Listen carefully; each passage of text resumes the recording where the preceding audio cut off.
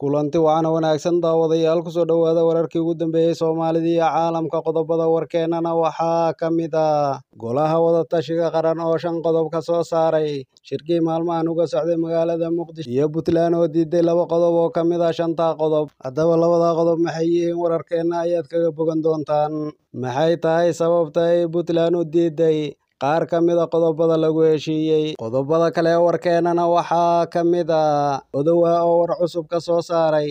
ciidamada laga soo celinayo dalka eritrea. Haddaba maxay tahay warkan cusub uu soo saaray odowa? Wararkeenna ayaad kaga bogan doontaan. Qodobadaas iyo kuwo kaloo intaasi ka faahfaahsan ayaad warkeena ku maqli doontaan. Fadlan haddii aad nagu cusub tahay subscribe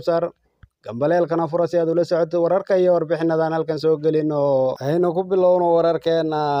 shirkii afraad ee golaha wadatashiga qaran ee u dhexeeyey madaxda dowladda federaalka dowlad goboleedyada iyo gobolka banaadir ayaa xalay lagu soo gebagabeeyey villa soomaaliya kaasi oo uga socday labadii maalmood ee la soo dhaafay. Golaha wadatashiga qaran ayaa kulanka uga dooday astaynta awoodda heerarka dowladda hannaanka federaaleynta garsoorka amniga dagaalka al-shabaab iyo arrimo kale. Murtiyeed ka kooban shan qodob ayaa ka soo baxay shirkii magaalada muqdisho uga socday madaxda dowladda federaalka iyo maamul goboleedyada waxaana laba ka mid ah iska diiday maamulka puntland. Sida lagu caddeeyey war-saxaafadeedka ka soo baxay labadaas qodob waxa ay kala yihiin daynta hannaanka federaalka garsoorka oo puntland ay diiday garsoorka la federaaleeyo iyo qodobka kale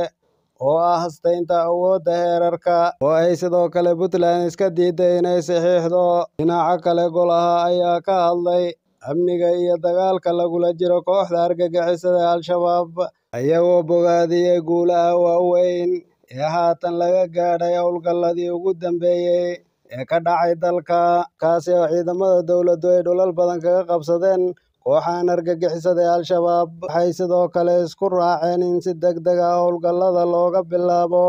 koonfur galbeed iyo maamulka jubbaland. Oo hadda u diyaar garoobaya la dagaalanka ka dhanka kooxda argagixisada ee al-shabaab ugu dambeyntii golaha ayaa soo hadal qaaday dhacdadii baydhabo ee dagaalka sababtay waxayna sheegeen inay ka xun yihiin falkaasi iyaga oo ku baaqay in la adkeeyo nabadda lahu waxa uu ka tacsiyeynayaa kana xun yahay dhacdadii gacanka hadalka ahayd ee ka dhacday magaalada baydhabo taariikhdu marka ee saddex iyo labaatankii disembar laba kun labiyo labaatan goluhu wuxuu adkaynayaa in la ilaaliyo sarreynta sharciga la dambeynta iyo nidaamka dowladnimada ayaa lagu yidhi war murtiyeedkan ka soo baxay shirka golaha wadatashiga qaran. Madaxweynaha jamhuuriyadda federaalka soomaaliya xasan sheekh maxamuud ayaa guddoominayay shirka afraad ee golaha wadatashiga qaran kaasi oo lagu qabtay magaalada muqdisho shan iyo labaatankii ilaa labaatan iyo sideedii desembar laba kun labiyo labaatan shirka waxaa ka soo qayb galay ra'iisul wasaaraha xukuumadda federaalka soomaaliya xamse cabdi bare ra'iisul wasaare ku-xigeenka xukuumadda federaalka saalax axmed jaamac madaxweynaha dowlad goboleedka puntland siciid cabdulaahi daney madaxweynaha dowlad goboleedka jubbaland axmed maxamed islaam madaxweynaha dowlad goboleedka koonfur galbeed cabdicasiis laftagareen madaxweynaha dowlad goboleedka galmudug axmed cabdikaariye qoorqoor madaxweynaha dowlad goboleedka hirshabelle cali guudlaawe guddoomiyaha gobolka banaadir ahna duqa magaalada muqdisho yuusuf xuseen jimcaale golaha wadatashiga qaran ayaa kulankoodii uga dooday ajandihii lagu ballansanaa ee astaynta awoodaha heerarka dowladda iyo hannaanka federaaleynta garsoorka sidoo kale golaha ayaa iska waraystay xaaladaha amni ee dalka geedi socodka dimuqraadiyeynta iyo saamaynta abaaraha. Goluhu marka laga reebo puntland waxa ay saxiixeen heshiiskii siyaasadeed ee hannaanka federaalka garsoorka iyadoo la isku raacay in la qabto hannaanka isku dhafka ee garsoorka. Goluhu marka laga reebo puntland waxa uu isku raacay saxiixayna heshiiska siyaasadeed ee astaynta awoodaha heerarka dowladda kuwaasi oo kale ah awoodda u gaarka heerka federaalka awoodda heer federaal kuwa u gaarka heer dowlad goboleed iyo kuwa ay wadaagaan.